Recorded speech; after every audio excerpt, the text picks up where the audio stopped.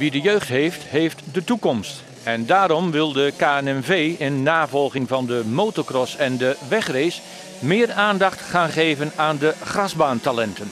Die kinderen die beginnen met vijf jaar al. En uh, ja, dan moeten ze het eigenlijk allemaal nog een beetje zelf uitzoeken. Dat, dat gaat gelukkig al erg goed. Er zijn wat, wat, wat oudere rijders die ook een aantal kinderen al begeleiden. Maar wij willen daar echt uh, een stap in gaan maken om uh, al op hele jonge leeftijd uh, kinderen echt te gaan begeleiden. Echt te gaan, uh, gaan, gaan leren ook te gaan leren speedwayen. Zodat we ja, internationaal de aansluiting houden. Want we doen het leuk met de jeugd. Hè. In de 125 specials hebben we hier vandaag in Latterop ook de Europees kampioen aan de start. Is dat afgelopen juni geworden in, in Tsjechië. Ja, wij willen graag nog een stap hoger. We willen echt naar ja, het absolute wereldniveau, ook op speedwaygebied. Zoals bijvoorbeeld Dave Meijering uit Schuine Sloot. Dat is een man die heeft ongelooflijk veel talent. Wordt al goed begeleid. Maar daar zouden we ook graag stappen in willen zetten. Al dus Patrick Rood van de KNMV. Met daarbij de beelden van de 50cc coureurs. Jongens en meisjes van 5, 6 en 7 jaar. Wat goed is, komt snel. En dat geldt zeker voor de 10-jarige Dylan Grobbink uit Tubbergen. En hier ging hij van start met nummer 5 in de 65cc in zijn eerste serie.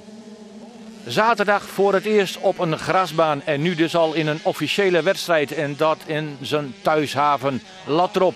En hij deed het prima. In die eerste serie zou hij worden afgevlacht als vierde. En daar was hij content mee. Ja, jawel, alleen de staat ging niet zo goed, vond ik. Nee, maar je lag vierde en je bleef vierde. Zat er niet meer in? Nee, want ja, de motoren lopen allemaal even hard en zo. Dus ik kwam er niet bij. Kwam je snelheid tekort? Ja. Ja, nou cross jij en eh, je doet eigenlijk voor het eerst aan grasbaan. Waarom ben je daarmee begonnen? Ja, gewoon omdat het in de buurt is en um, niemand doet er mee uit aan Twente. Wat verwacht je vandaag? Um, ja, podium. Ja, die Dylan toch, want die had een vooruitziende blik. Hij zou uiteindelijk derde worden en dus op het podium komen. Dan de start van de eerste serie van de ST2-klasse met nummer 1 in het midden en met een camera aan boord. Gert-Jan Valk uit Dadelen, regerend Nederlands kampioen. 12 deelnemers in deze klasse en de beste acht zouden zich kwalificeren voor de grote finale.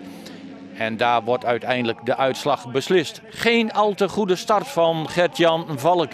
Want hij ligt hier op plek 7-8. Maar hij weet langzaam maar zeker zich naar voren te werken. En hij wordt uiteindelijk vierde. En daar is hij dan toch content mee. Ja, dat is op zich niet verkeerd. Uh, vanaf de tweede rij. En, uh, en toen ben ik dus dan mooi naar voren gekomen.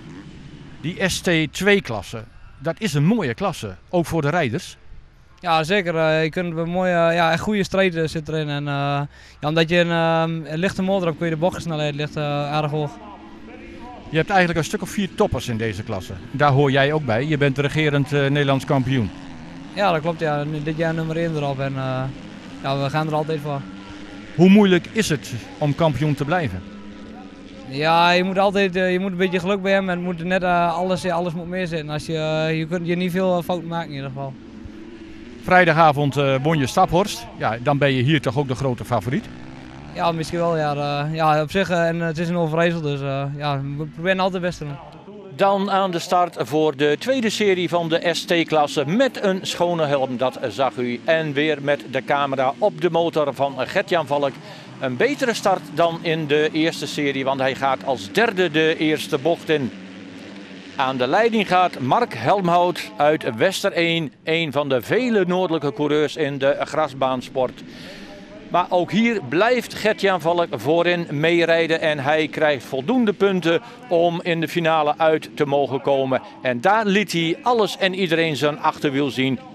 Gertjan Valk uit Dalen dus de winnaar in de ST2-klasse voor Berry de Vos en derde werd Mark Helmhout.